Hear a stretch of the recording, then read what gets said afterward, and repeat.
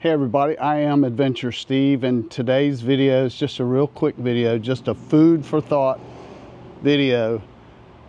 Everybody probably knows by now that we had Hurricane Helene rip through the southeast up into North Carolina, Florida, Tennessee.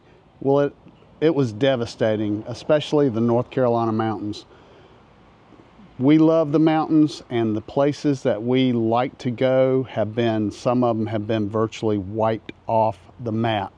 People are in really bad dire straits right now. No food no water no communication running out of medicine running out of oxygen. They can't get in they can't get out. Roads are washed out bridges are washed out. You name it, every calamity that could happen has happened. Now, one of the big things, and the reason I'm making this video is there's no communication. People don't know if their families are dead or alive. They don't know if they're missing. They can't get um, in touch with them. Cell networks are down, power lines are down. Uh, I think some cell phone companies are going to set up some temporary stuff, to try to help people. There's no internet, there's no nothing. So here's what I do. I always have a Zoleo. I went to this Zoleo about two years ago. It goes everywhere with me, no matter where I'm at. I can have satellite communications with anyone in the world through my Zoleo. I can text through this. I can reach anyone in the world. They can reach me. I've got SOS on this thing. I've got weather at my location. Uh, what else? I can text with a medical professional if I have an emergency.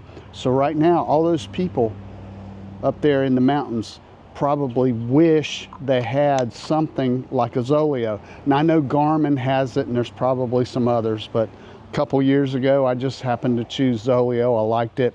So when I when I'm out on the water or out in the woods or when we're on trips, we take this thing so we know we've always got communication. So those people up there in the mountains, if they had such a device, they could probably contact their families and let them know they're okay. But it's really, really bad. So just food for thought for your own preparedness. You might want to look into something like this. I think I pay $26 a month for this.